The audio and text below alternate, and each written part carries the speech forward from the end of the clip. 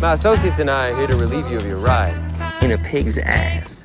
Call me half-wit again. You're lucky they didn't shoot you. I thought for a minute they might. You want to get Logan and his monkeys out on the street? Just not in the way that you would want. Hold on, sir.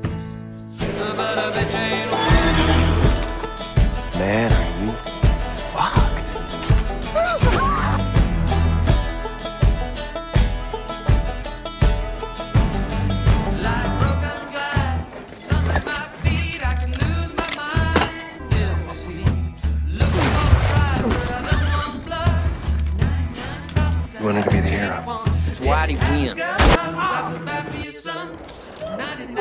Next one spoils your face.